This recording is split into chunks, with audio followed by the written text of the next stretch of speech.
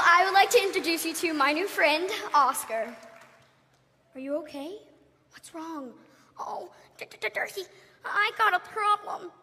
A problem? Yeah, ever since you got the golden buzzer, I, I've fallen in love with Mel B.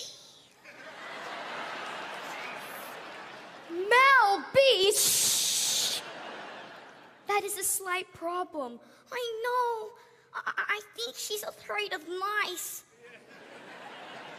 Well, Oscar, I think your bigger problem is she's a human and you're a mouse. Well, I didn't think that would be an issue. I mean, Heidi was married to a seal.